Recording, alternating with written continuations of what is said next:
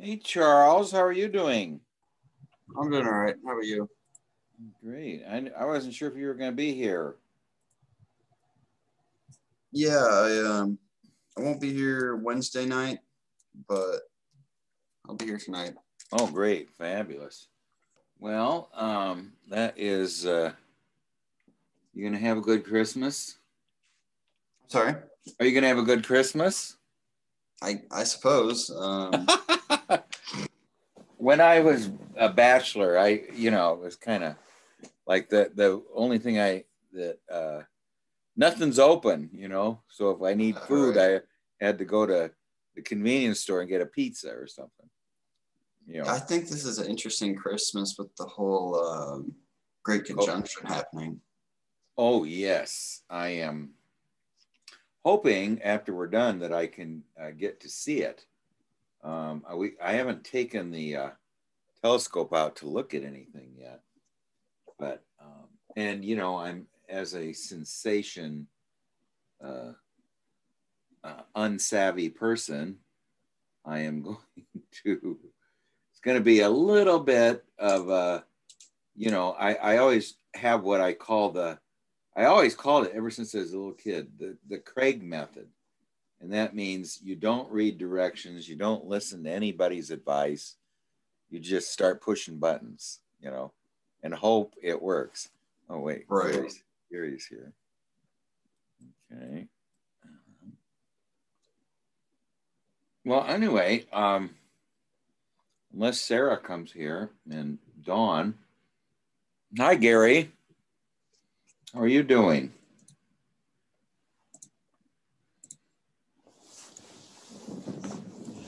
I'm just uh, telling Charles he's, you know, um, talking about the conjunction, you know, of Saturn and, uh, um, and I'm sure Roy will have something to say about it.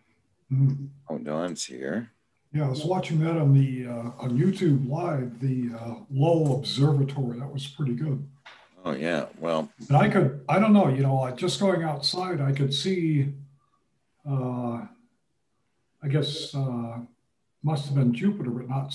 I mean, the one is is considerably dimmer than the other. I can make out one, but not the other. Yeah, well, I I'm going to try to, when we're done, uh, take our telescope out there, but just telling Charles, I'm very. Uh, this will be the first time I've ever used any kind of telescope. And this is like a 12 inch reflector, you know, so.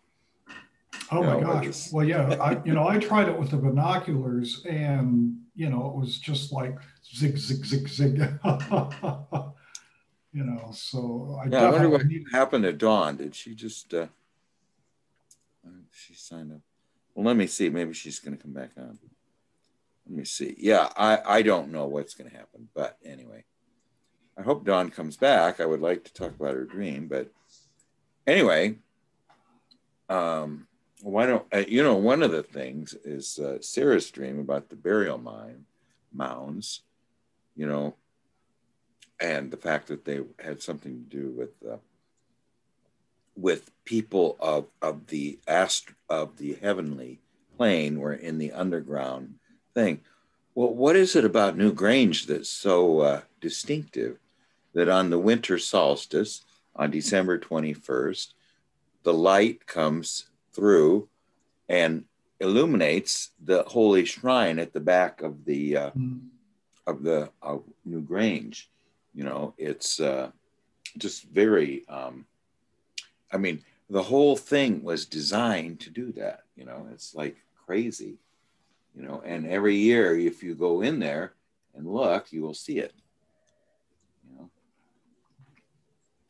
I hope that Dawn comes back, but we'll see. All right, I'm going to see if I can get on this. Oh, there she is.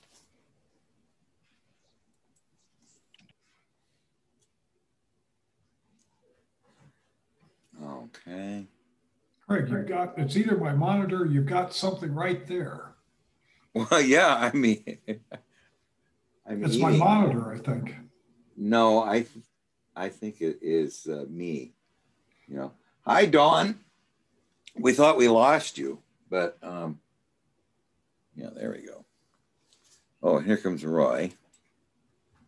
All right. Well, I just wanted to show you this. Uh, you know, since we've got the great conjunction coming on, and uh, uh, I just wanted to show you this. Uh, I mean, this this is the uh, the back end.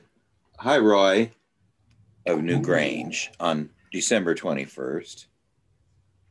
Okay, that's what it looks the the the entryway looks like. You know, I mean the not the entryway, but the uh, inner depths of it. Wow. And there is a shrine at the very back that's in a little niche that gets at a certain moment gets illuminated by the um, by the sun. And there is uh, then this is what it looks like from the from the front end here. Let's see. All right.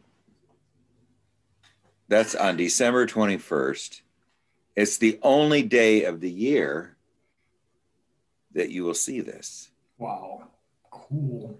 you know. So uh it before she even said anything about that it had something to do with um uh, of of um people of the of the uh, upper realms, the, the stars, the star people, you know, you could already say that Newgrange has something to do with um, the stars, and it's the meeting place of the of these of the um, heavens and um, and the chthonic world, you know. So anyway, just uh, saying. Well, let's let's see if we can finish Charles' dream, and then um, Dawn, Dawn, did you want us to do your dream here, or would you like to just have us do it via email? Uh, you know, uh, it, do you think it, it would be better just to do it via email? Yeah, I don't want to do it here. Okay, that's no problem. It is a fascinating dream, by the way. But I'm going to send you. I've already kind of amplified it, but let me uh, send it, and I'll send it to uh, everybody. Uh, you know that you de- designated. Okay. Well, great. But I mean, it's um, you know, you know, one thing I was uh, I had a uh, sort of a, a revelation today. Uh, hi, Kevin. Well, I was doing my uh, active imagination. You know. Uh, hi was um, what it means to be a vacuum for for the unconscious, an empty vessel, and what it means to be filled with with with the uh, images from the soul. Well, this this sort of reminds me of what they say in alchemy that you need to be um, have relentless memory. You know, now what? Why would you need relentless memory?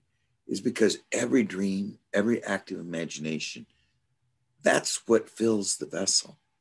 And you need to contemplate them and have them very close at hand to consciousness all the time. Uh, so that you're like um, one of the uh, bards of the Celtic world uh, in the days of, um, uh, you, you, know, the oral tradition that could sit there for, uh, you know, a month and tell you stories and never repeat any, you know, and had to tell them, uh, you, you know, fairly accurately. Although they also had the job of mixing them together, you know, and uh, so it, you, you know when we wonder where these un, which Marie Louise von Franz calls these X-rays of the psyche, you know, like Marie Louise, I mean, like uh, fairy tales, and also, um, you know, these these uh, um, stories like um, about the Grail Castle, you know, which is just wonderful uh, image of uh, of uh, this uh, what what's really the philosopher's stone, this uh, unending source of of of the water of life. You know, I mean, what the Grail is. But anyway, why don't we? Uh, hi, Marina. We're just getting Hello started. there. Hi, Kevin and Dawn. We're just uh, gonna uh, maybe just start with. Uh, hopefully, Sarah uh, comes later, but because her winter solstice dream is pretty interesting here. But anyway, we'll have uh, Charles dream. Okay. Um, okay. So, um, you know, uh, we're outside in what seemed to be a city plaza, and there was a gray haired minotaur walking down the street about 35 feet away. Okay. So gray haired is venerable. He, he represents the ancestors, but he also represents a, a different kind of consciousness. You know, he represents a consciousness that's very alien to uh, the waking day world. You know, he's sort of like um, in walks Pegasus or in walks, uh, um, you, you, know, some other mythical uh, figure just walks in. So we're walking down the street, and here is uh, uh, the Minotaur, this gray haired Minotaur. And uh, um, at this point, we don't know much about him. And uh, a few men begin to throw long chains at it and try to lasso or subdue it. Well, why would they do that? Because it is um, so alien to um, the conscious world, you know, and it's a threat to the conscious world. Because in, in the conscious world, it's a manifestation of, of the unconscious, which, um, you know, uh, of which ego consciousness is supposed to uh, be the um, uh, you know is supposed to be the empty vessel for. In other words, it's supposed to empty all its contents, basically kind of obliterate itself, and and be the empty vessel for the unconscious. You know, and the fact that it is related to um, the ball is um, has to do with it's also has a very instinctive and a very um, nature oriented uh, type of uh, character, you know. So it's very close to uh, uh the, it, it, has a human lower form and a bull's upper form, you know, where in, in the centaurs, and that was the word I was trying to think of last time uh, it's a horse lower body and a human upper body, you know. And uh, for some reason in Egypt, we see this form over and over again. You know, the baboon headed god, the, the jackal headed god, the, the um, you know, Thoth, which was an ibis, and, um, uh, you, you know, there's uh, some other ones, you know. Um, and, and by the way, you know, one thing, um, Charles, just around about Isis, you know, uh, I don't know if you've ever uh, read The Golden Ass of Ap- Apuleius, you know, uh, but the, the culminating event in it is where a man who turns into an ass goes to uh, the um, the secret um, uh, rites of the ISIS cult, and he gets to, to witness them. And you know what's really amazing about this book is it's one of our only accounts of the secret rites of ISIS, you know, of the ISIS cult. Hi, Tim, Carl. Uh, we're just starting on uh, um, on Charles' dream here. So uh, anyway, the um, uh, you, you know, uh, so this gray-haired minotaur, which is walking down the street, is is about as alien as you can get. It is a consciousness that is related to the instinctive world, related to the the um, the unconscious world, uh, and it's just walking down uh, it's walking through ordinary reality you know. So then all these figures which seem to be i think allied with the conscious mind uh, try to lasso it and chain it. In other words we don't want these unconscious contents infecting the conscious world you know. So they um, they lasso it and subdue it. And uh, the the next thing you know, the Minotaur is surrounded by a, a- circle of about thirty or so men.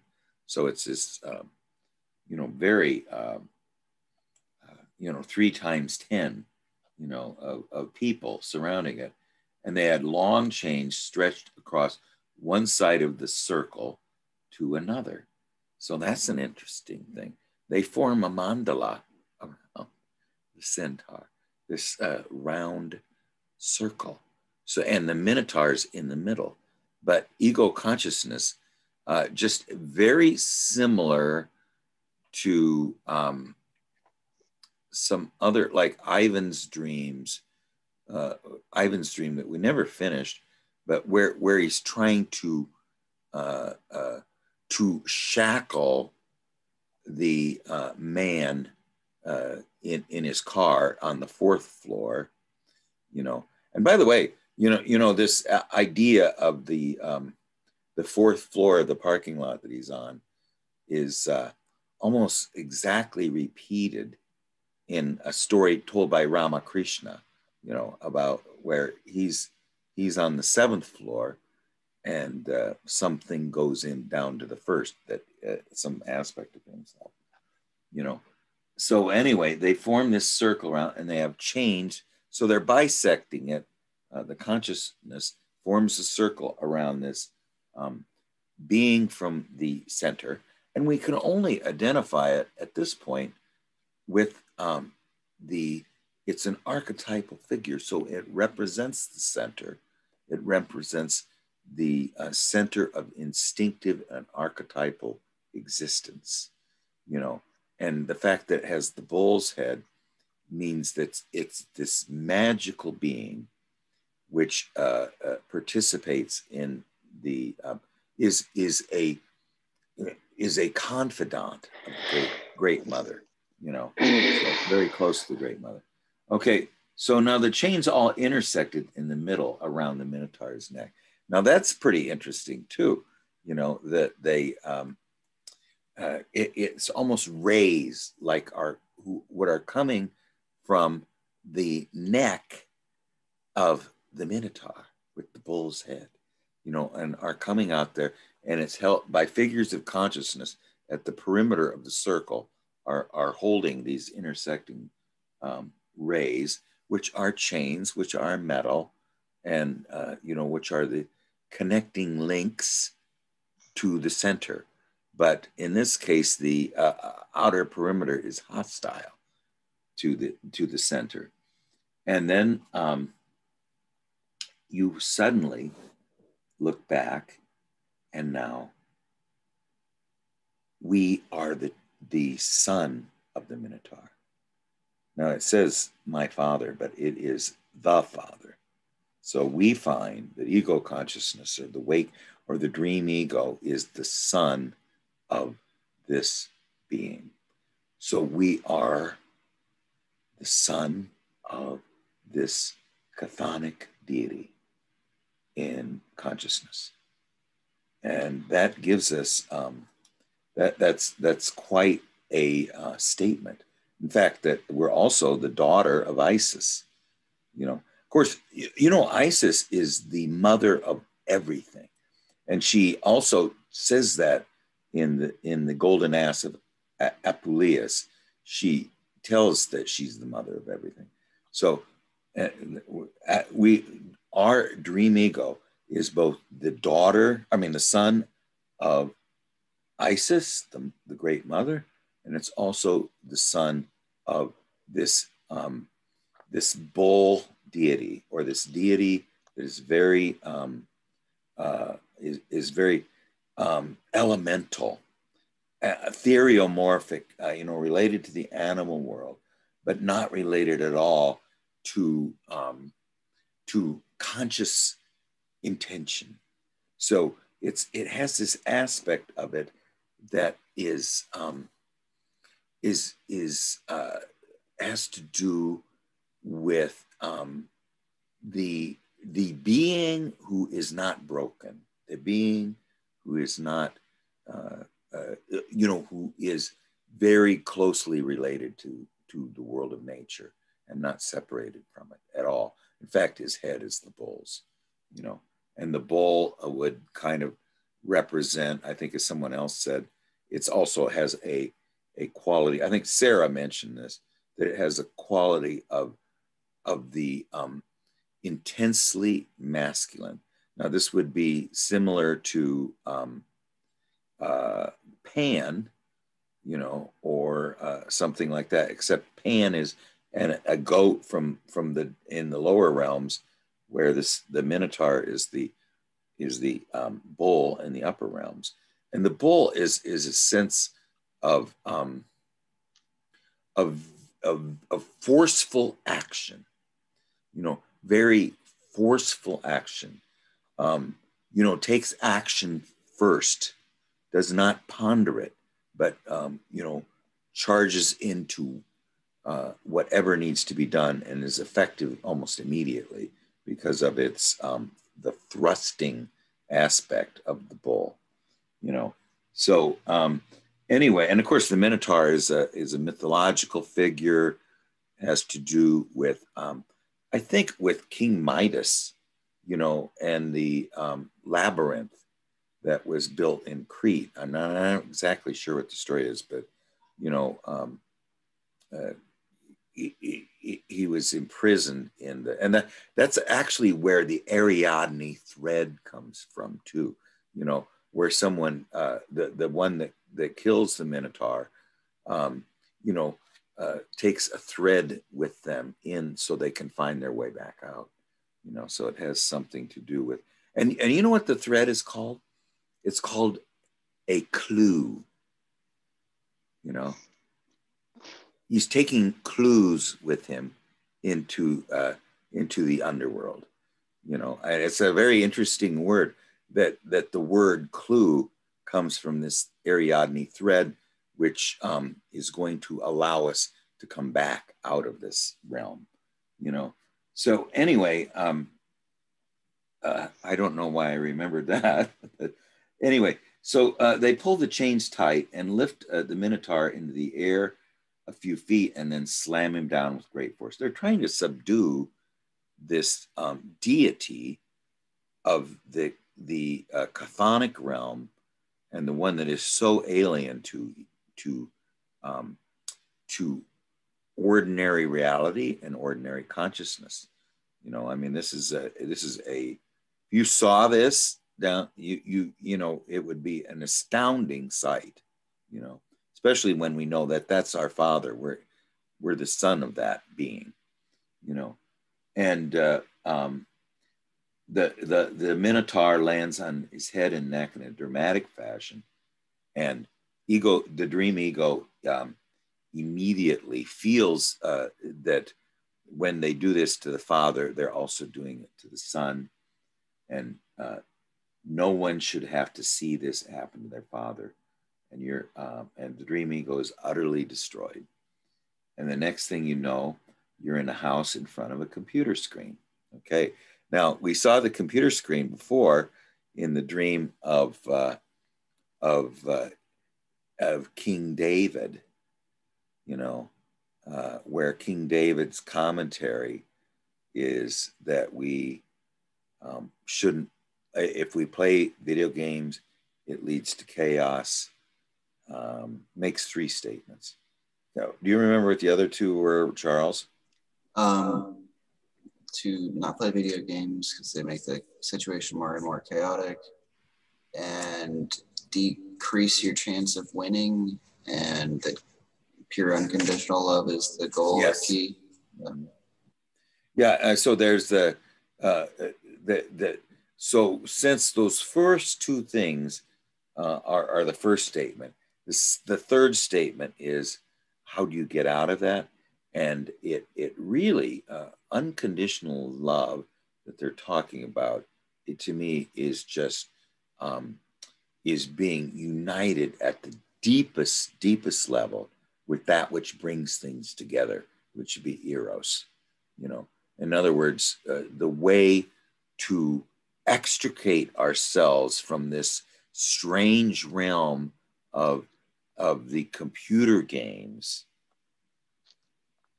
and the fact that they lead us, uh, lead ego consciousness uh, down a dead end, down, uh, you, you know, uh, uh, a path that, that leads nowhere, and also um, is is a way that that that um, means that, like in the computer game, life loses. Okay, what what's the solution to this? Eros, you know, uniting with um, the the great mother and with her uh, uh, the feminine ability to make everything come together in this luminous lunar world you know? Okay and uh, so it turns out um, you're standing in front of a computer screen and suddenly you realize that all of this had been happening on the computer screen at all, all time so is it real or isn't it you know i mean there's this aspect of, of what is reality here and there are some people in the house and you tell them that you just watched a crazy video and they would never guess what i had just seen now is that the end of the dream Yeah, as far as I can remember, that Yeah. Okay. All right. And uh, I can put it in the um, text. But now, um, okay. Uh, Gary, do you have any comments on this? Uh, I mean, we've had a couple, a couple, uh, a week or so to sort of, um, you know, uh, ponder. So, it. yeah, I think, you know, you've given like a, you know, uh, very interesting, you know, archetypal uh, interpretation, but, um, you know, I think I would come at it from more of a uh, uh, personal Mhm. um, and to me, the you know the bull is, you know, and, and you said it, you know, it's forceful action, but it's it's power, and you know, and the way that you relate to how this is being, you know, abused, you know, it causes tears, you know, it's like, you know, it just destroys you. And to me, I think it was saying that, you know, that there's there's an aspect of you that you know that has this power that you need to to reach for and you have to find it. And that right now you know it's not being acknowledged. And even even the other dream and the you know the comment about um, you know um, unconditional love and and craig's um, relating that to the you know to the eros unification. But that is you know what is that? That's feeling you know that's like having a not an intellectual understanding but this felt sense at a very deep level. And i think felt sense at, at a very deep level is also how you know we we reach and discover our power. And so you know i think this is telling you that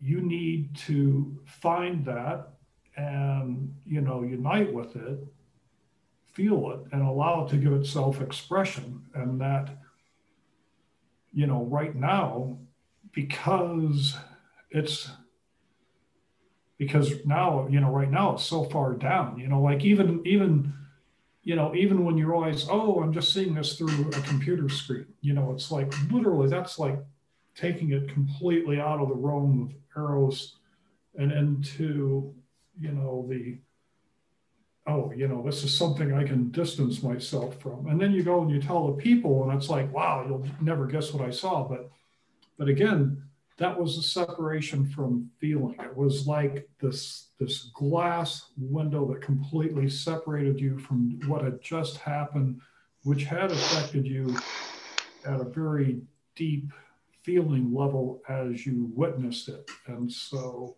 you know if i had this dream i would be you know i would be looking at how do i connect to my power and somehow it's through eros and feeling that would be that would be my comment and and this is this is uh, what Gary just said, and he's always very good at this, uh, make bringing it into the practical world, is why I could never be a Jungian analyst, is because I'm so impractical. you know, and I'm always looking at it as the um, what is the religious symbol here, not what is it I should do, you know, which is a, a great weakness of my approach. Uh, what do you think, Roy? Uh, a few points I can make that might not have been made. Uh, one is Charles has Mars and Taurus in his natal chart. Uh, so, you know, Mars is has to do with the instincts and aggression.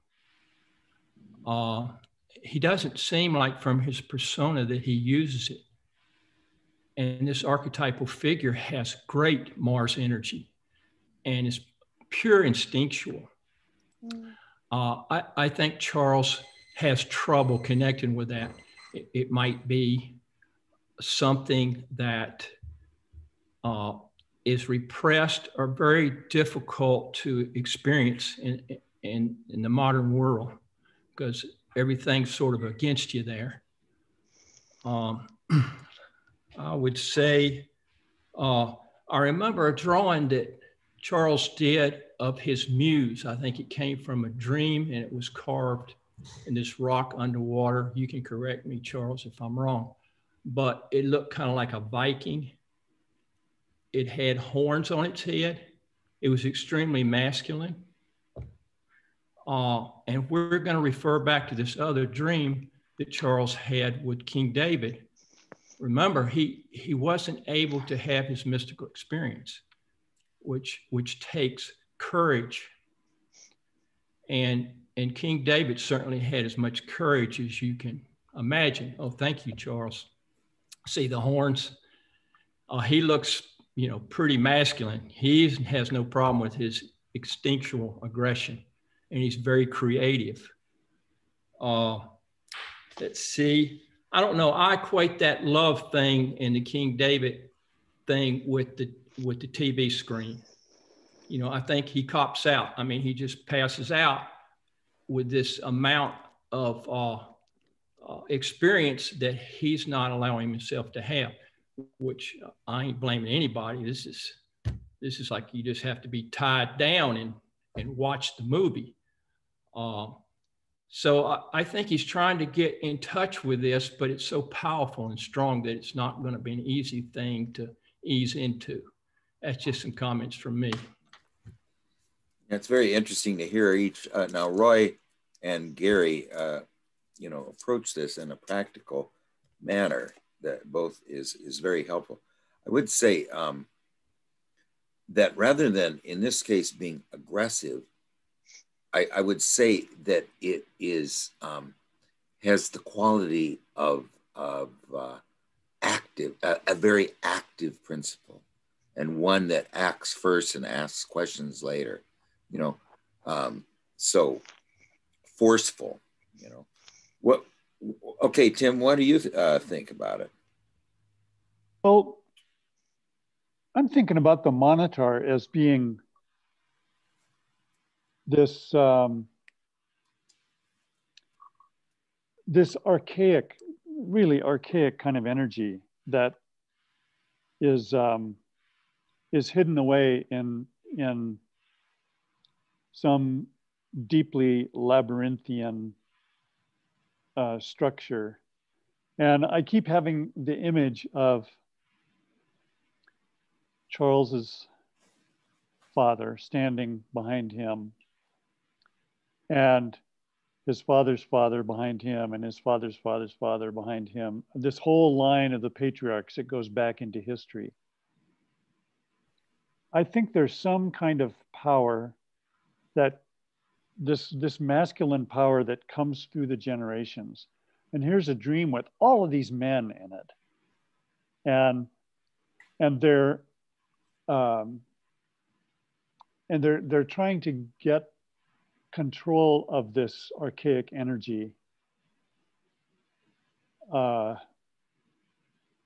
and it's it's being subsumed, I think, by the contemporary people. So I'm just wondering if you couldn't use this image to, to go back in your family history and look for that power that keeps coming through every generation. That's that's something I would I would do with it. I think. Yeah, and uh, we asked last time, uh, and, and, you know, some information about Charles' real father, you know, but I think that one, one thing that, that Tim said that is extremely vital here is the archaic nature of this uh, symbol is unbelievably archaic. I mean, it it is um, you know at least three thousand years old, and um, probably way uh, back into that uh, before that. I mean, uh, the the age of Taurus, the bull. Um, I would guess, um, you know, ended about uh, 2000 BC, you know, or something like that. Maybe a little before 2500 BC or something like that. And uh, so also the archaic nature of Isis. You know, I mean, these uh, why would these themes, why would the um, dream maker select these images for our dream ego to ponder? I mean, that's a that's a great mystery. Uh, Marina, do you have any uh, comments about it? Yeah. Um, I think uh, just coming at it symbolically, really. Um, there's something about the grey hair. Is that significant of um, maturity? Um, and 30 men. Is the number 30 significant? I don't know how old you are, Charles, but is there something there? Just turn. I like. Yeah. Ah, oh, wow. Okay. Um, forming a mandala kind of connects the self with that number um, I really, you know, appreciate hearing what other people have done with the material. The generational, the intergenerational thing, I definitely got. So I, I'm there with the others. And um, the Minotaur is a, like a hidden monster in a labyrinth. And um, and the qualities of the bull. Again, it represents force it represents stubbornness. It represents the Taurus. Um, just kind of being aware, really, of the symbolism and the amplifying all these aspects and coming together with the thoughts of the group. Yeah, that's that's what, that's what I think. Yeah.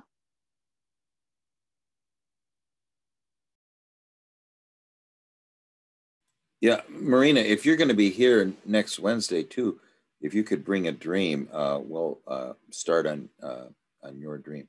I'd like to get try to get Charles and Sarah's dream today, and then um, I, I, have worked up Dawn's dream.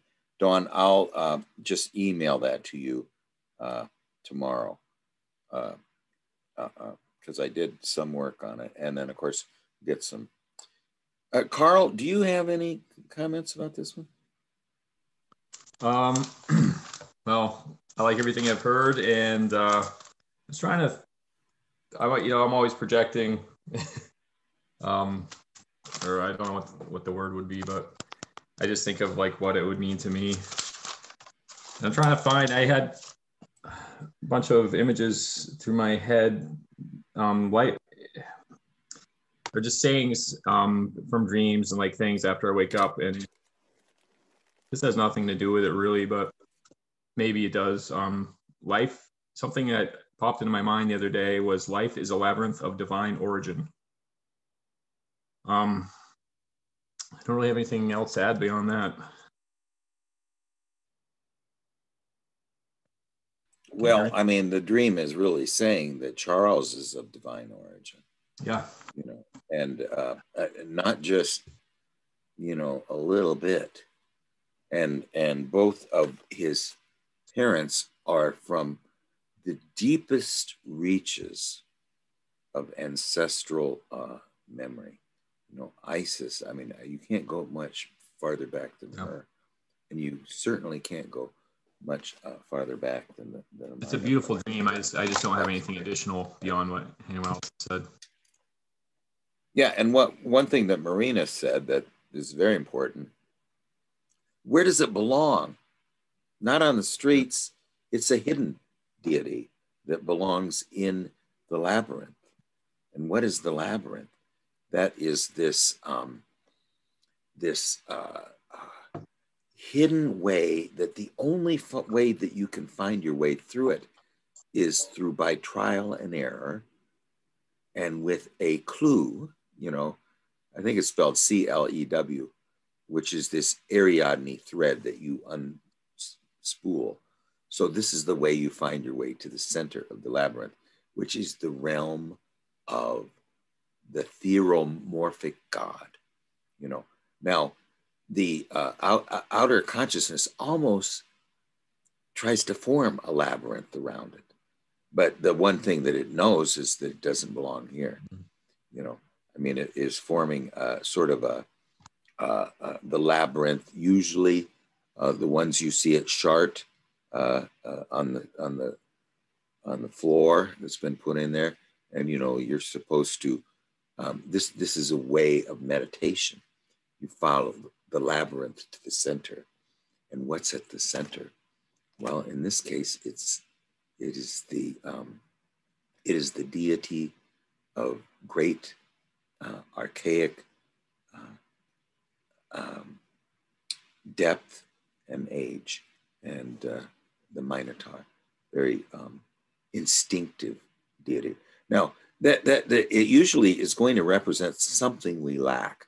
So what it is saying is that the dream ego lacks the instinctive and uh, and the forceful, you know, and uh, so the the great wis- teacher of wisdom um, is the one that is going to teach us what ego does not know, is completely unfamiliar with, and uh, it has to do with um, uh, this this uh, deep deep past, so foreign to consciousness, and uh, the the very very masculine, uh, somewhat with to do with the patriarchal, and also uh, with uh, the instinctive uh, wisdom.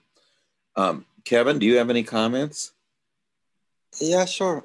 Um, yeah, I like this dream, uh, Charles. Uh, yeah, I'm gonna try to make some comments. I haven't had any sleep, so so we'll see if, if I can make one or two comments. Okay. Anyways, um, yeah, I really feel uh, it's a really nice window into your psyche. Um, I know um, others, I don't know, like video games, people have different association to video games, but uh, the way I understand video games is, uh, is a good image um, to symbolize the archetypal psyche. And so I feel like this is a window into your archetypal psyche. Um, and my understanding of this Minotaur is like um, it's it's in in a way a a separation from the archetypal psyche, but also a birth of grounding. Um, a good example was um, there was one time where I felt really intense. Where I was about six years old, and um, I saw my father. He was gonna go into an elevator, and this elevator was to close and it closed on him like he was hit by the elevator like on the sides and my whole body just wake wake up you know. It's like the birth of empathy. It's, it just woke me up like my whole body just woke me up. And uh, pretty much the strongest feeling i ever had. And i feel like this dream is also somewhat like that uh, because once the Minotaur was pounded down it was when your ego complex moved into the house. And so there's where archetypal psyche is where you move away from, or the dream ego move away from the archetypal psyche into this uh, ego place. And now you view this whole thing as a video game, which is a, which is okay because you know i think most people view the world as a video game what i mean by that is that they don't really have a uh, truly connection with the archetypal psyche. Uh, and I not uh, in your dreams, I would say there is a a allusion to the ego self axis. Um, like Marina says, like, you know, this forming of a mandala inside and the very fact that it became your father means that there is a formation of, of your ego complex uh, with the self, uh, with the archetypal psyche, which is healthy because now there is a distance between the ego and the archetypal psyche. Um, but this, but the same time, there's still somewhat of a video game. But I think for, for this case, it's not. Um, I think it's fine for this case. Like you, like you said, you have been working on uh, focusing more on um, others or something like that. You said before, so I think it's a it's a good development, and you have definitely force which is being tied down. Uh, that's for sure. Uh, but I, I, still think that um, it'll be fine.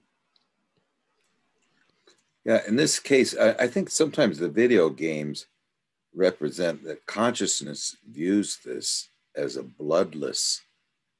I mean, it, it just drains all the blood and the uh, earthiness out of it and turns it into a, a, a, a you, know, it's just this very static, unreal uh, image, which to me is, um, as a puer aeternus, means that it makes um, when, once everything goes into the video game realm, uh, we lose our sense of history. Okay. So now we become this tangential point that just uh, only intersects reality at one point. So there's this lack of engagement, you know, uh, that that I think it, it represents, you know, um, and uh, would say that the one thing that's in common with the other dream that I think Gary and Roy and Kevin mentioned is in the other dream, you, you know, as as um, as we as dream ego is about to have a mystical experience, you know, the the youthful aspects um, feel watched and leave. So there's this idea that we're not going to be developing the I mean, eh, they leave one at a time. So as we couldn't, um, you know, develop the um, new growth in the first stream, there's an aspect of here that the ego consciousness forces this uh, absolutely fabulous being that's walked into our dream. And uh, rather than looking at it in awe, they try to smash it and uh, subdue it and, and take away all its transforming power. Um, Sarah, do you have any comments about it?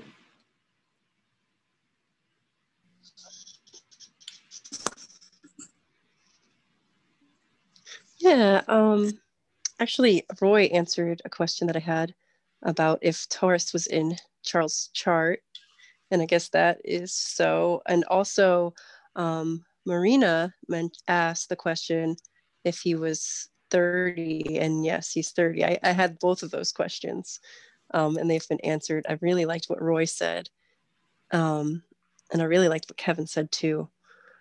Uh, I can't help but still feel, yeah, like maybe this is something that you're trying to block, like your masculine, almost archaic, um, a powerful nature. Maybe that's uh, you're blocking because it's something that maybe makes you feel uncomfortable or reminds you maybe of your father and that's something you don't feel comfortable with um, accepting but yeah i don't really have anything else to add other than that i think almost all of you here would make very good analysts you know un- unlike myself unless you the only person i'd be good for is is you know, somebody that just is unbelievably introverted.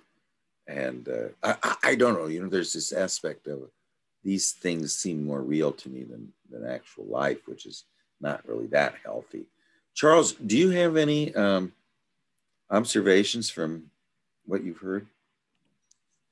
Um, yeah, I do. Um, I think um, one of the mo- like really my focus on the dream is my feelings um, and my reaction to uh, the Minotaur, my father, being slammed on the ground.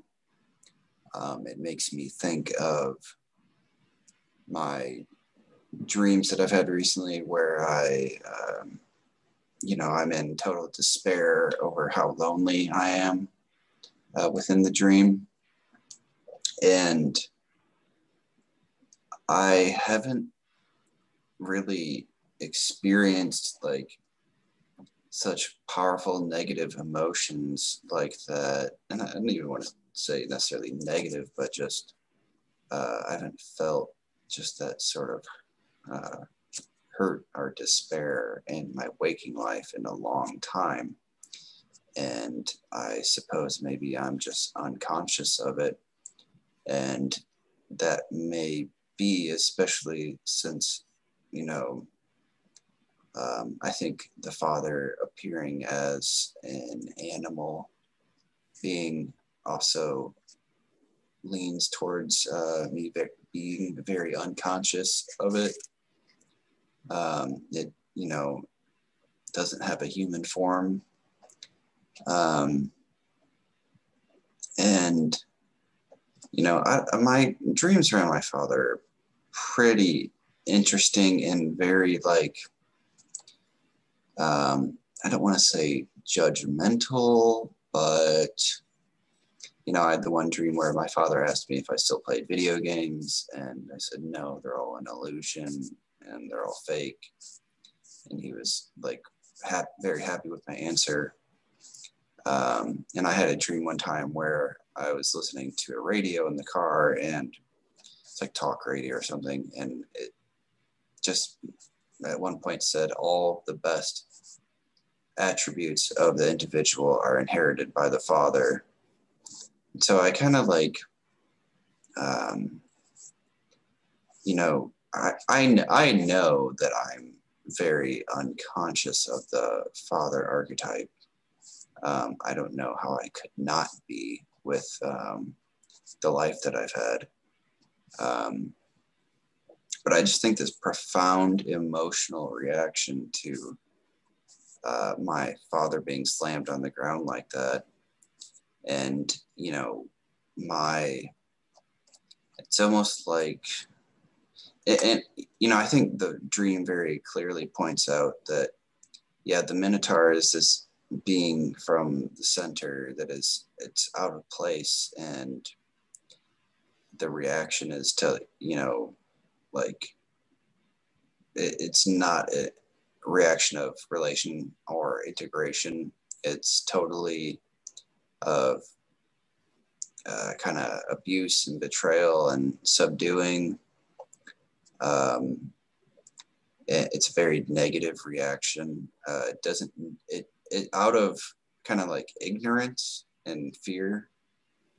Um, and I think the idea of the virtual or the video game or the screen um, is very much viewing it as not an actual real part of life because a video game is a closed static system that doesn't change. Um, it, there is no one like, yeah, you can make updates and installations to games, but it does not organically change and ebb and flow like life does. There are no unpredictable things, there are no synchronicities.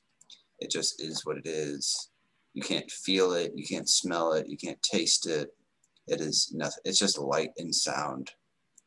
Um, just like a thought, you can imagine light and sound, but you can't imagine your tastes and emotions and sensations and things.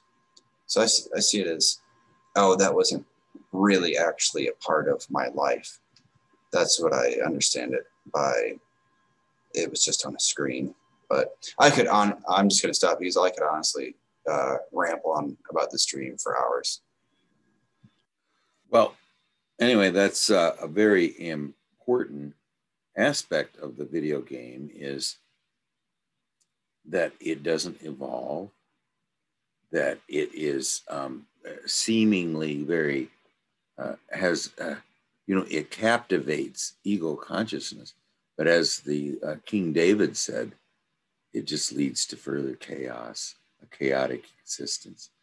And it's it's not related to eros. Eros is the cure for this you know. So um, it, it really is a, first of all we see this wonderful image that our father is the minotaur.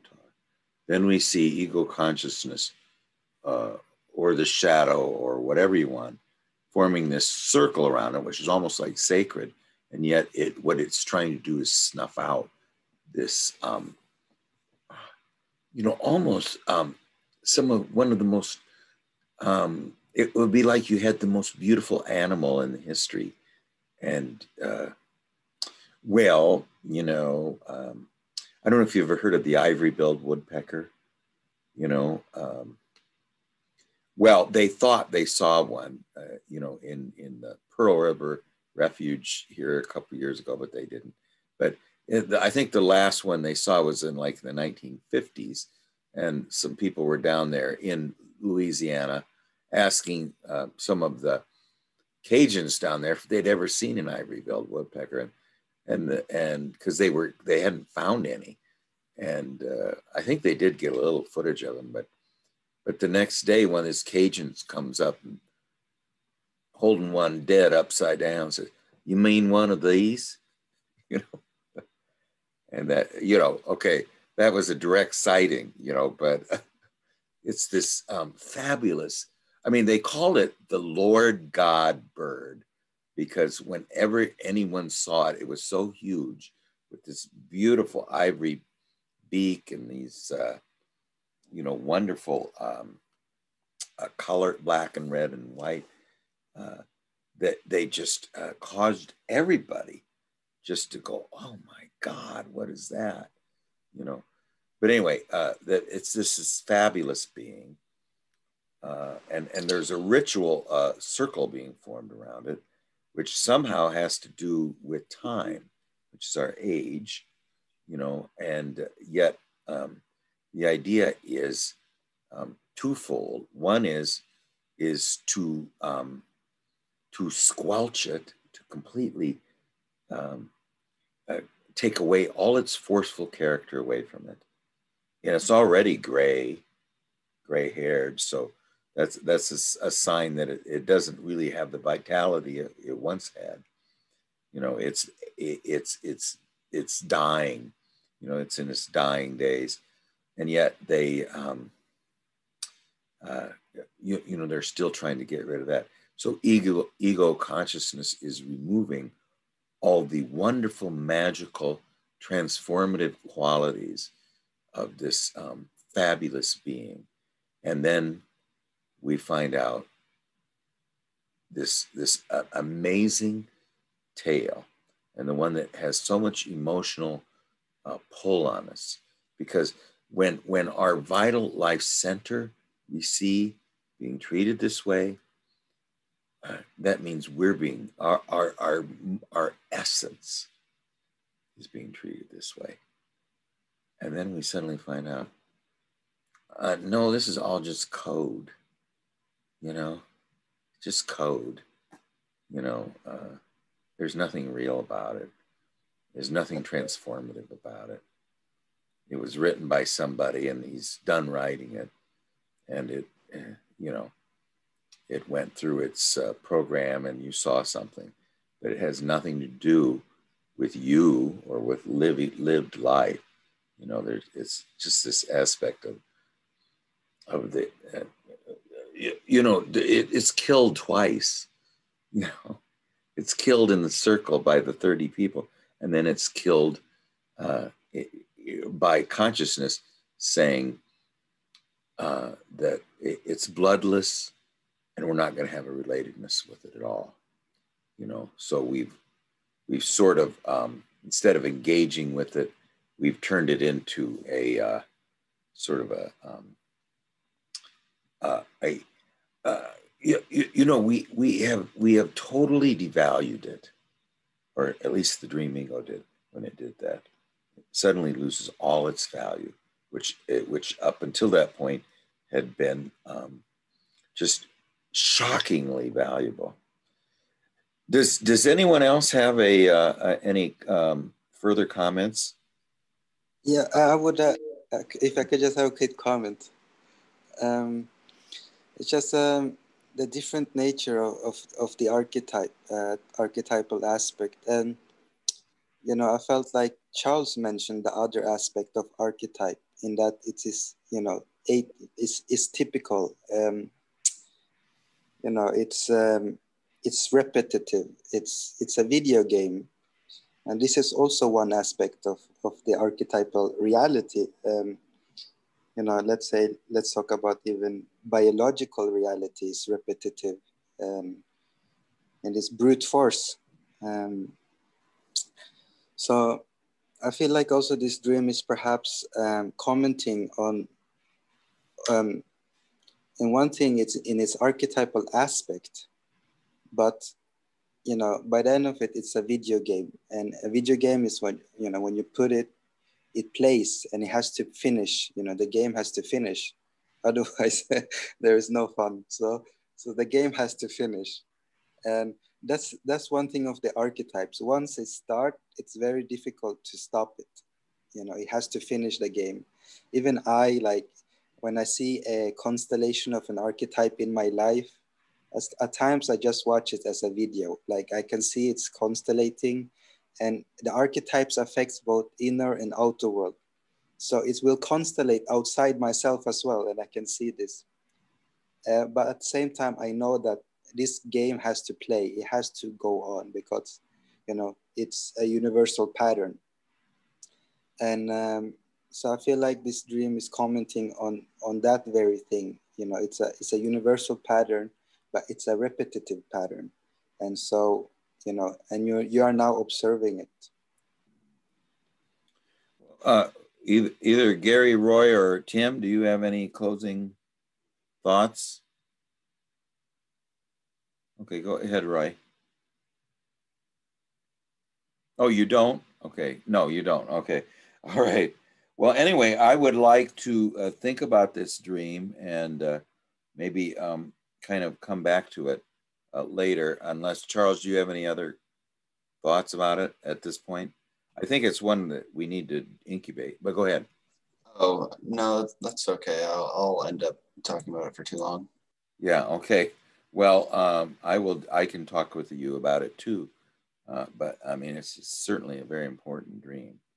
You know, I mean, it's incredible. I, I don't know if any dreams that we've had that weren't really important. You know, I mean, to me, they're just uh, incredible.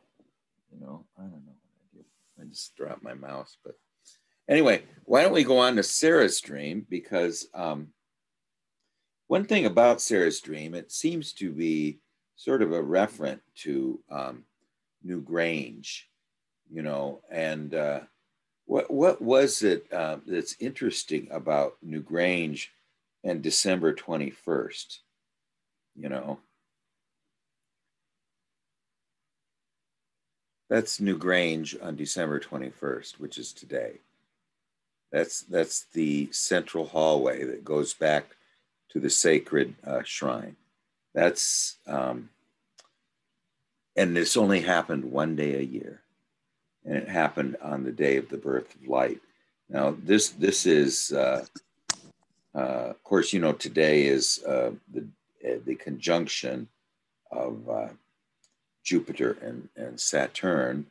And I think if everybody, uh, there's going to be quite a few videos on it tonight. You know? Wow, that's so cool.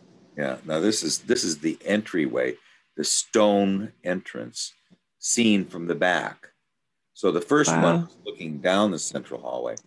This is at the moment of the winter solstice. That's really cool.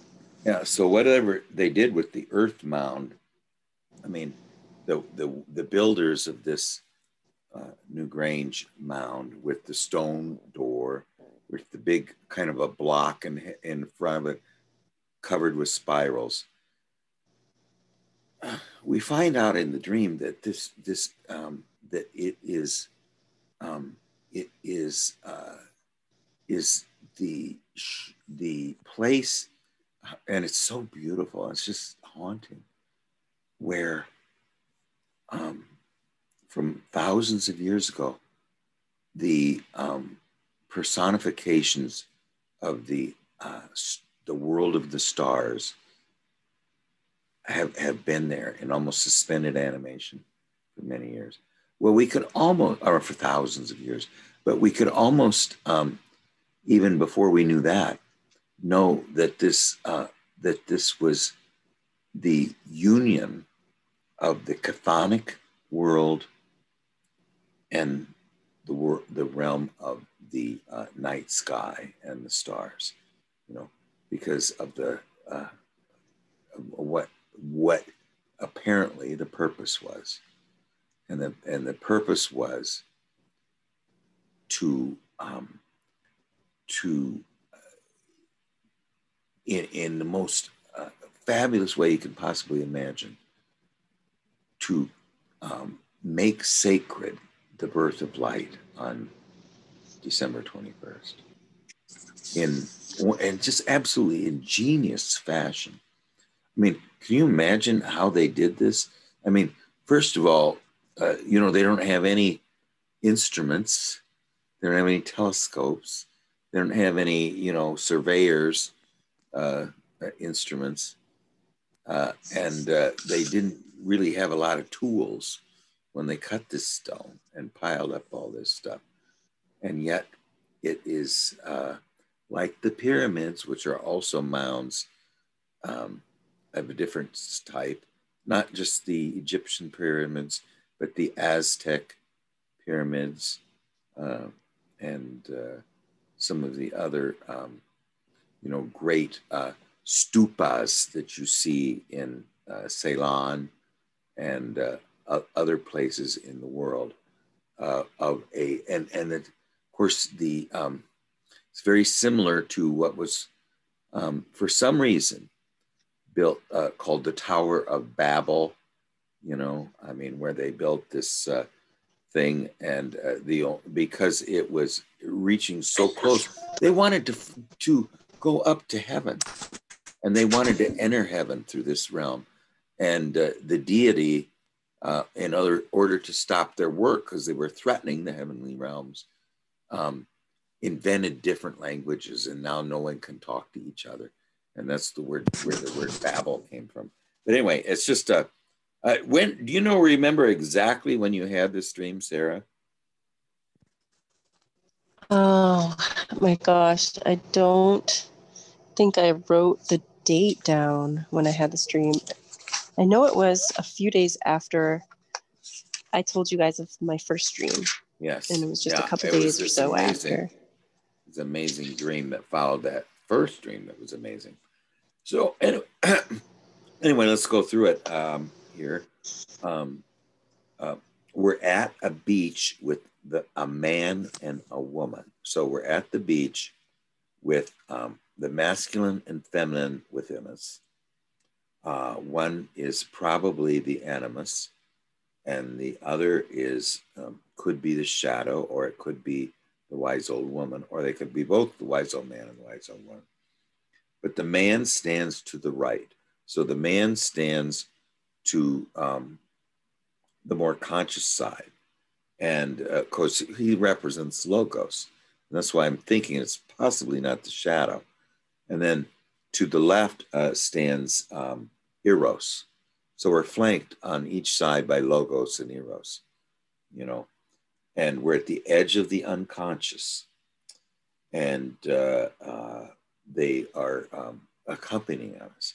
So, ego, the dream ego, accompanied by logos and eros, is standing at the edge of the realm of images, the depths of the of the ocean, the great ocean, the unconscious. And then we see to the left is this mound that's sticking out from the ground. It has a big stone door that is locked, and there is a sign on the door that reads, Do not enter, forbidden, penalty for entering.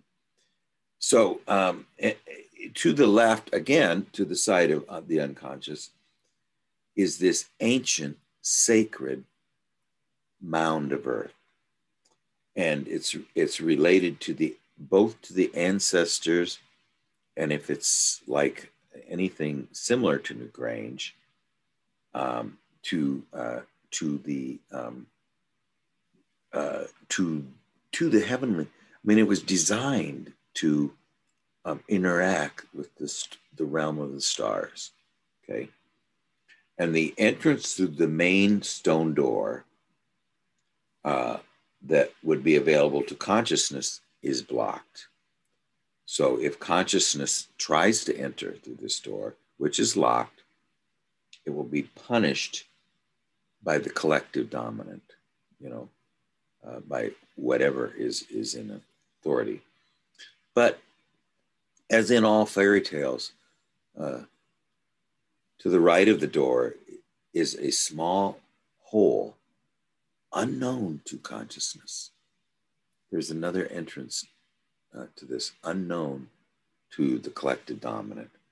And um, it uh, we look at the, the, eros logos and and the dream ego uh, are reassured because they know they can't get in trouble if they enter this way enter this uh, this um, fabulous ancient so we're entering the ancient realm of the ancestors you know and uh, um, so um, now we go inside, and sure enough, it is of great value, this place, because it is filled with bags of gold coins.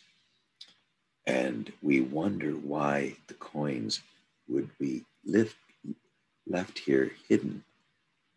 Because this is the treasure heart This is this is the place of the highest value. Okay. It's, it's hidden from consciousness. The place of highest value is hidden from consciousness. Consciousness is unaware of it. Consciousness can't enter through the uh, through the um, door that's available to consciousness. It has to find another uh, hidden secret entrance to get in here anyway to see uh, the thing of great value. So um, then um, we, we walk to the back of the room and there's a door to the left leading into the hallway that the door would have taken to us to. So this is very similar to that door uh, that we see in the Grange. You know, it's just this uh, hallway. We realize, and then suddenly we realize that we are in an ancient crashed ship that has been here for thousands of years. Now, Sarah, do you know how you realized that? Was there any? Uh, was it just a sort of a, um, a, a I, revelation? I kind of got like an. I think I just kind of got an image in my head of a black spaceship, and I kind of understood the the blueprints all of the sudden of the ship that we were in. It just kind of like was a flash in my dream. I just put aware. Yeah, in the chthonic realm is a vehicle that can that can navigate the heavens. Okay, you know, and it actually came from the heavens and has been here hidden for thousands of years. So, so the way to navigate the upper realms is in the lower realms, you know, and uh, mm. it's been here for thousands of years. Okay, and uh, it's black and shaped like an egg. So an, an egg is something that um, new life comes out of, you know. But this is a strange, like finding a finding a, a dinosaur egg. You say, oh well, the egg is new life. Hmm. No, this is this this is from 65 million years ago. Oh, you know. Well, it's the new life from 65 million years ago, then, you know. But uh, anyway, uh, so we we continue walking along the left side of this ship, so the one that's closer to um, or farther away from consciousness, let's say, and uh, uh, you see that is lined with beds. So this this is places where um, any any conscious uh, entities um, enter unconsciousness.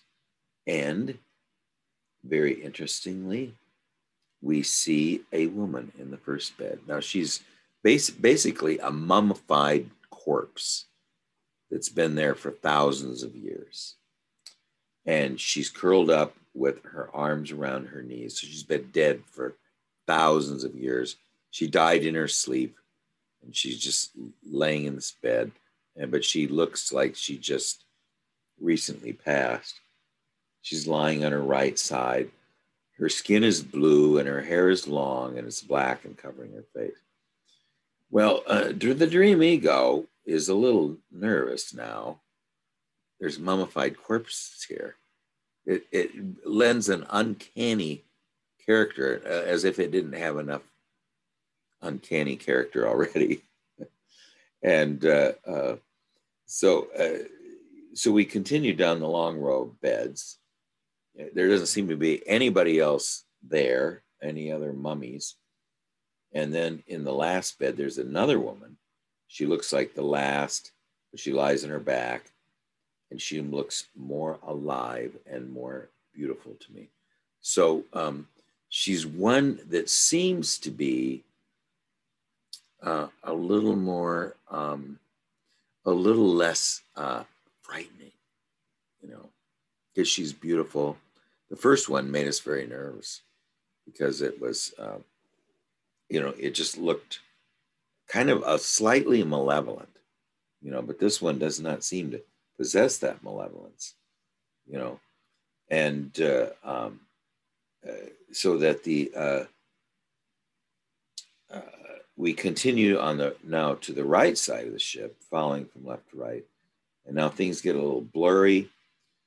Can't remember the details, but it's just a little side journey. The man uh, we are uh, with. So, would this be the man at our right? That was mentioned and that was by the beach? Yes. Yeah. Yes. Okay. So, so the man from the right, the man from the uh, kind of the logos world, um, is uh, um, the the um, the these inner beings get angry with logos that's in this underground realm. Well, they kind of would, you know. I mean, this is this is the chthonic underground realm of the dead, really, and this um, this uh, you, you, you know um, logos character who's so analytical and so differentiating and very cold. You know, like my wife. Uh, whenever there's something about COVID or something, you know, I start showing her graphs and stuff. And she says, and it makes no difference to me. You know, this person I know is sick. So, you know, uh, what's wrong with your feeling function? I mean, and I said, well, um, when you die, I will, uh, when you're dying, I'll say, uh, I'll bring you this graph and say, yeah, but Amy, look, the trend's up. I know, I'm sorry you're dying, but the trend is up it's you know it's it's very divorced from uh, from uh, reality. So anyway, Logos is down here. Uh, it, it, he's kind of like the Minotaur up in the upper world. Now that this uh, solar being is down in the lower world, and uh, no, so this is very analogous to the thirty men with their uh, circle of chains, you know, and they uh, fight him, and he fights his way back and then we're in the left hand side of the ship where uh, the Eros friend and uh, I are waiting for him. And so we start heading back the way we came. We notice the lady in the last bed is gone. Ah, you know, like, uh, you, you know, you walk uh, into a, a, funeral parlor and there is, uh, you see this body laying in the casket, or you're in a morgue you know, and you see a body laying on uh, on a gurney. Exactly. Know? Yeah, and then suddenly you turn around and you turn back, it's gone. What does that mean? You know, it's like uh, it's very uh, it's very uh, uh, startling and alarming. You know, I mean, and and and I don't know. Is there something about that that is? Um, is there anything more frightening than seeing a dead body uh, come to life? You know, mm-hmm. I mean, this is something that I think it terrifies us all. You know, there's just this aspect, and why I don't know. You know, I mean, there, it's just this aspect. If we see this dead body and suddenly its finger moves or something, it's uh, it's absolutely. Ter- is anybody here not think they'd be terrified by something like that? You know? Well, I'm wondering if it isn't just a coming alive of something that has been dead. Yes. Mm. So it's it's not terrifying. It's it's uh, revivifying. Yes, it is. But um, right now, at, at, initially, the dream ego is very um, uh, is is startled and uncomfortable. Would you say, Sarah? Oh yeah, yeah. definitely. Like but this isn't yes. right. This isn't natural. No. Yeah, but we find out how uh, mature Sarah is in just a bit here. So um, anyway, uh, we must hurry and get out of here. About halfway down the row of beds, the blue lady from the last bed comes zooming at me. Now, here's how consciousness deals with this, and this is absolutely beautiful. You know, um, here comes this uh, dead body come to life, and it comes down screaming like a banshee. Okay, now, Sarah, you described the, uh, the what a banshee actually is, and you didn't know this before, is is the lady of the mound. Yes, the fairy, uh, the fairies of the mound. Yes. In um, Irish and Scottish. Um, and you didn't folklore. know that uh, no. Before. But you're dreaming about a mound, and then she comes and screaming at you like the fairy of the mound that she is. Right. Yeah. Right. Okay. And uh, um, so she screams right in your face. You almost turn around, but now listen what happens. But I realize I'm not afraid. Now this is what where Tim's going, and I want to help her. I put my hands. Uh, so, so this is this revivified aspect of what has been long dead in us. Okay, so we're, we're going to this archaic place, and there obviously is some aspect of it that is uh, has a great revelation, but everything looks either hostile or dead. Now, ego consciousness is seeing this. Um, it, it, it's very much like the alchemical uh, prima materia. You know, when if if we would turn around, if, if a snake is chasing us in dream, if we turn around and talk to it, it suddenly becomes the healing thing, you know. And I think this is what uh, Tim was referring to. Um, so uh, we uh, put her hand, our hands on her shoulders, and have to use strength to keep her from coming too close. She's still screaming, and you explain uh, that uh, what has happened to her and her ship, and that she and the rest of them died in a crash thousands of years ago. She becomes more quiet, as we explained. So this, um, I, you know, uh, now let's say you were a person who had been woken from the dead and been dead for thousands of years, and someone would tell you what happened. And first, you're screaming like a banshee. Um, and uh, so when some figure tells you this and you start to calm down, it's very interesting, you know. And uh, she comes becomes more quiet as you explain, and when you're finished, she's completely quiet and aware. So isn't that amazing that um, somehow uh, the dream ego, uh, with the help of Eros and Logos, uh, at, least um, accompanying her, has um, taken this uh, terrifying figure of, of the uh, lady of the fairy of the mound and made her more amenable to consciousness through just interacting with her. So this is really what consciousness wants. You know, it wants ego to relate to it as an equal partner. And when it does, it it becomes related to, you know, um, it it reflects it's it's like um, uh, it reflects uh, the unconscious reflects our attitude towards it. If we come there and we're terrified of it, it will be terrifying. But if we come there and uh, relate to it, it will relate to us. So it's going to somewhat mirror uh, consciousness attitude to, to it. So um, uh, she now remembers who she is and is at peace. And she seems to be thankful for your words. And then you make your way back out to the unconscious. Okay, I did I beat that thing to death? Uh, Roy, Roy, what do you think? Okay, a, few notes I made. Uh, okay, this Sarah is like the goddess of magic. She's like Hecate, the goddess of magic.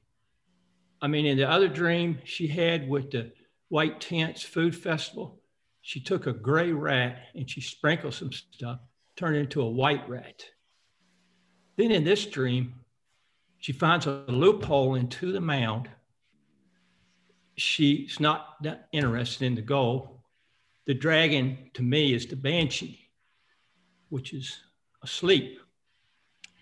What does Sarah do? She just checks the place out a little bit. She's going out. The banshee wakes up. Oh, the banshee, sort of the dragon, supposed to be guarding the gold, and she uh, is able to communicate with the banshee uh, like the consciousness ego communicating with the unconscious. I mean, only a magician can do that. I am like astounded. I'm, I'm still, you know, uh, stoned to my soul. Yeah, well, there was some aspects of that first dream where uh, Sarah also um, seemed to be a a abnormally competent, uh, where the dream ego is usually is has no clue.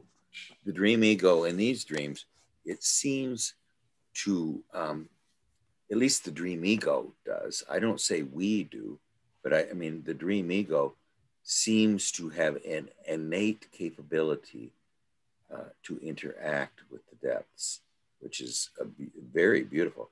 Tim, uh, what do you think? Boy, I totally agree with that. There's this wonderful capacity that you have, Sarah, to um, to dive into this really, really archaic thing, which is prehistoric. You know, the mound with the stone door. Um, and and once inside, there there are these terrifying um, uh, calcified, maybe fossilized kind of figures that your attention brings to life, and you have a kind of care or a concern that is warm and alive and so you can transform that terror that that I kind of associate with anything from the archaic world looking into the future would be terrorized because everything is so bizarre and so fast and so new. But you can you can put your hand on this on this woman's shoulders and transform her in some way. So I think you're both your dream ego and the and this figure are in a way healing each other or um, communicating with each other. And I have a little bit of the same feeling with the male figure and the the kind of archaic uh, male energy that, that immediately falls into violence or some kind of conflict. And and then at the end, um, it seems like you guys come out, isn't that right? Back onto the beach. And so it's it's back into the daylight and there's a sense of, rev, of resolution. So the one thing it makes me think about is I wonder, just because of the banshee and the, you know, the fairies of the mound, if there wouldn't be useful to to look at some old like Celtic um, Mm. structures or mythology or something, and just look for something that might be uh, a little bit compelling, something that Definitely. that attracts your emotions a little bit, either in the characters or in the history or something. Just maybe, you know, open a book on Celtic stuff and just flip through and see if anything Yeah. you. I've actually started looking into that because of this dream. Um, Ah, and that's one um, it's one of the many ancient beliefs are um, folklore or whatever that i actually haven't dived too deep into i've been more into uh, egyptian and sumerian and you know things like that um, but my heritage is irish and scottish so i should learn a little bit more about my own you know ancient heritage i guess you know I really like what you said about us healing each other. That really felt right to me. I like what Roy said too. Thank you guys. Yeah, Well, um, when I, I, I, one of the best books I ever read was by two people talking about the storytellers of Ireland, you know, and uh, uh, you, you know the fact uh, that um, you know Joseph Campbell was was Irish, and he was uh, talking about the uh, um, something uh, happened. Uh, uh, you, you know, this this guide was telling him something, and he says he was a very garrulous Irishman, you know, and uh, he then he says as an aside, garrulous Irishman is a tautological term, you know. I mean, you know, Irishmen are uh, tend to be very, uh, you, you, you know, they're ver- very verbal, and yet, um, you, you, you know, they're they, they have this wonderful sense of humor. Uh, they have this wonderful sense of the as if, you know, the um, uh, airports can't build uh, their uh, roads or airports near the fairy hills. You know, they have to be left uh, alone. You know, and uh, it's just it's just this wonderful aspect. Of, I wanted, and, and I'll tell you one other thing that I noticed is that Sarah um, has a very feminine uh, uh, wisdom. I mean, like she's a um, she's already uh, a wise old has the aspects of a wise old woman. You know, I mean, I I find there's an aspect of her, or that I find in in what she says, that is um, has a uh, see this this is what I really miss is as a as a one who was born male and didn't choose to be male. I, I'll find um, like say a um, somebody who's a woman who's cutting my hair. She's just so different than me. You know, I mean, I'm talking about let's say she's a middle-aged woman. She's not. There's no attraction between me and her. She's just a babushka, you know, and and and I, I everything she says, it puts me at ease, and and also um, destroys this um, uh, uh, this logical prison that I live in, you know, and and kind of um, uh, brings you out into the to the fairy hills. I mean, there's just this abject aspect that is so uh, beautiful. Uh, Gary or, or Charles, I guess uh, you're next here. Um, yeah, uh, I think, you know, one thing, well, one thing I noticed is, is that um, it takes place at the beach at the beginning. So it's the meeting point of the conscious and unconscious, and it descends into the unconscious. Um, and I, my attention kind of was fixed on when um, you explained them to the lady that her and her ship had crashed and they had died thousands of years ago. And I just my intuitive thought was like that um, this kind of yeah, I have no idea what this is worth, but that this inner figure didn't realize that they had been coagulated into an actual personal being and um, did not, you know, like understand.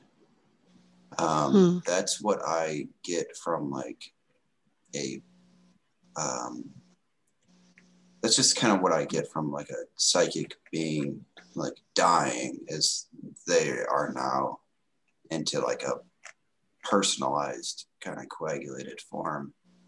And they're just the ship um, is, you know, underground. It's a crashed ship. Um, yeah, you know, it's a it's a vessel of um, it's a vessel of you know star travelers. Um, so as long as you are here on the earth, they will be in this crashed ship under the ground. And then when you leave, you know, the uh, leave the earth, the star travelers will, you know, ascend back into the heavens again. And hmm. um, you know, my my attention was kind of fixed on on just that situation um, and that kind of just uh, that imagery. And um, I understand what everyone else is saying too. Um, you only shared two dreams, but uh, in contrast to a lot of mine, they uh, seem not to be so centered around um, let's say symptomatology of neurosis like mine generally are they seem though two that you shared seem to be more of uh, storytelling as opposed to just symptomatology. Hmm. um, so that's really i guess that you know would indicate that you're pretty healthy so that's good. Yay. Um, so yeah, I understand what everyone else is is saying. Um, but um, yeah, that's that's really all I um, uh, have to say. I just, I think I don't know. I just thought that uh, uh, part of the dream was really interesting. Hmm. Yeah, I know. I wish I had more to say about my dream, like you did, Charles. You had so much to say about your own dream, and I don't really know what to say. um, but yeah, that part um, when the banshee was coming at me and she was upset, it felt like she was almost almost like an animal, you know, when they're hurt and they're trying to attack uh, a person who's trying to help them, you know, like I had to help her understand um, the situation to calm her down um, and help her accept what was going on or what happened to her um, yeah, I felt I felt like it was really important to do that. I felt a lot of compassion for her. I felt really bad for her. Like she needed to, she needed to be told what was going on. Yeah, you're almost like Buffy the vampire therapist. you're not the slayer, but you're the therapist. What, what do you think, Gary? Yeah, so on the beach, there's the unconscious, but then the mound and and so the ocean, of course, would be infinite, and yet the mound is, you know, limited. So this almost seems like a encounter with the self. Mm. And you have several aspects of yourself that you're going to take in there. And so you, you know, you you immediately find that it's a place of great treasure, but then it's also symbolic of a larger universe, you know, the, the spaceship. And in traversing this with your other aspects, you find that logos is probably not going to be able to communicate and you know, and, won't be particularly useful.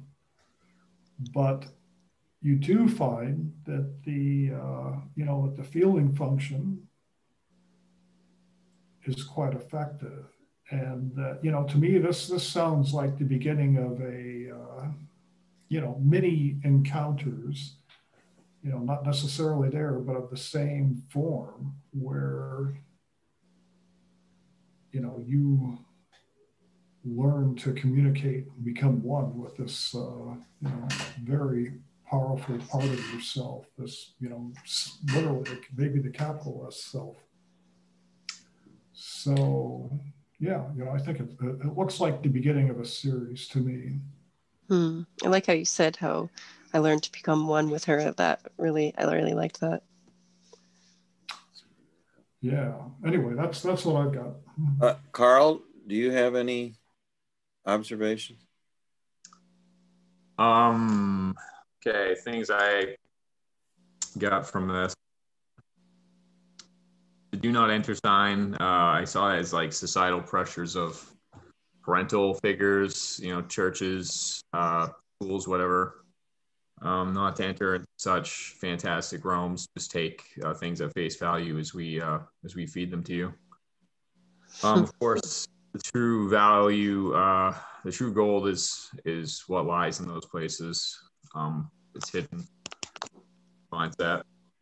Um, I wondered something. I don't, you know, I'm not a an, anal, an analyst by any means, um, and I haven't even. I'm just starting uh, inner work uh, by James Hall. That's who it is. Um, but I was wondering if the animus going into the cafeteria if that was her her animus almost like trying to get nourishment and other being a woman like uh parental figures societal figures um not wanting her animus to be able to express uh you know be a good little girl sort of um thing. Um so it was receiving uh you know was getting uh, flack for uh trying to get some nourishment um, mm. And then the other thing that stuck out to me was the first woman in the fetal position and the second woman further down. I, I wondered uh, if the if that was like a symbol of um, this you know magic thing within her is a younger person, uh, which was repressed. You know, is all that stuff's nonsense, yada yada. Don't don't ask such questions. Um, and now that she's older, um, and it's weird that I just this just popped into my head that after the animus is trying to enter into the place to get nourishment, they come back and then they find that the uh, the woman has woken up. Now she's up and she's mm. around. After you know, like okay, I've tried to speak my voice or whatever, and I'm being told to shut up. You know, but by whatever. Um, and uh, so now she's awake. That seems like possibly this is where she is um, in history now. Uh, and then she meets with this star traveler and talks to her, and she's developing a relationship with her. What I got. That's cool. That makes a lot of sense to me. Yeah. Marina, do you have any uh, observations?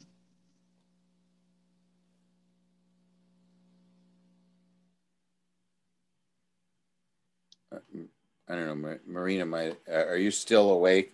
I think it's two o'clock in uh, Britain, oh. maybe three. Sorry, well, sorry, Kevin, I'm here. I'm here. Oh, I was ahead. trying to unmute. oh, I'm sorry. Yeah, yeah. No, I'm still awake. Um, yeah, so lovely dream. Now, the thing, you know, where my associations went and my thoughts were the hole, the small door at the side of the, the small hole at the side of the door where things were crumbling away. So it's an alternative point of entry. And that made me think, so there's a sign saying, you know, enter at your peril. um, but there's a, there's a there's a keenness to go in because there's a there's the crumbling away of the earth. So you go in, and that made me think of something like there's a big secret. Do not enter, but secrets have a way of getting out. It's leaking, so the you know you bury something, but then you kind of it finds its way up from from the underground. Then the black spaceship, for me, that, that was shaped like an egg, I was thinking some symbolic and I was thinking of womb. And I was also thinking of an alchemical vase. Um, and just as the conversations have gone on, the more I feel, you know, the more associations I have had to um, a maternal uh, lineage. So in the the beds, the line of beds that initially reminded me, me of a ward could represent kind of generations. And there's the mummified um, lady, and then the lady at the end that's a bit more alive. And um, so there's lots of threads with it, lots of threads and lots of associations. And and I sort of rested on the the black spaceship and you know and thought about maternal lineage. And then you were talking about Ireland and the Banshee and and um and that came into the mix for me. And and I think you know that there's something of um trauma um in there and yeah and uh, aggression and fighting and what this means I don't know I'm just kind of um sharing with you my associations. But I think I would think about that black, black spaceship. The spaceship is of mm. another place and time, buried under, but it wants to be exposed. And the mm. gold, of course, is the gold of your, possibly the gold of your uh, lineage. I don't, I don't know. Just, mm. She's screaming to be, she's screaming it for my attention almost yeah. to, to be exposed or to be released or to be um, uh, you know not repressed yeah something yes Wonderful. thank you that's, that's, that's very good yeah uh, kevin do you uh, oh. i i'm sorry i kept talking so much uh, i kind of went over but kevin you can have the last yeah. word and of course we can we can take it up uh, again when yeah sure um I mean, this dream is, is a play of space and time, and and your future self has already crashed into the pa- or into your past. I mean, that's a very difficult concept to understand. How can the future self crash into the past? Um, and it can do that because the self does not have this past, pre- present, future. Um, and for me, when I see this dream, I see I see the self as the ship, um, as a carrier, not only for you and but it's pretty much a care for everyone, and it's a- ancient, it's prehistoric, and he has intelligence in that it's it's a spaceship. You know, how many spaceship have you seen? So, so this is the self that has crashed into past, and it's because the that's how the self works in many time and just to have an analogy, this is um, this is I think where they found out in Hinduism, um, where Atma, individual um, soul, meets universal soul, so meets the self, and for them the self is latent, you know. So the spaceship has sort of gone to sleep, and now you are getting in touch with that space, mm. and uh, so that's sort of an analogy for uh, you can say the ancient part of yourself, the, the part of self which will always be living um, according right. to, to Hinduism and so on. Um, yeah, I think that's it. Um, I don't. I have so much, but I I haven't had too much sleep. But I'll, I'll think about it uh, till next. Thank time. you, thank you, Kevin. Yeah, Dawn. Uh, you you want to say something, uh, some you have some observations. Go re- go ahead. Okay, I got it.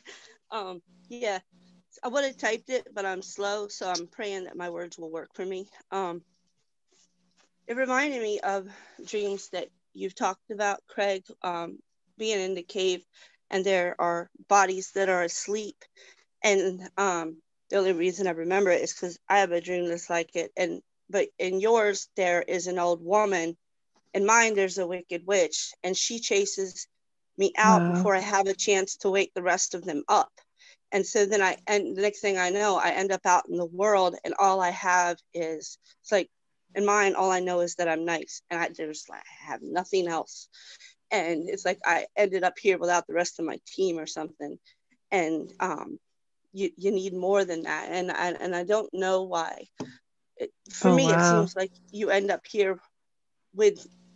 You talk about um, wholeness and uh, okay, all the words are coming to me right now, but just you you end up without not all your parts, and I don't know why. Right. Why is that? That's it. Thank you. Well, yeah, and and Dawn, if you want to uh, send that other dream to me, uh, you know, I'll just share it with you uh, individually too, and we'll try to amplify that one as well.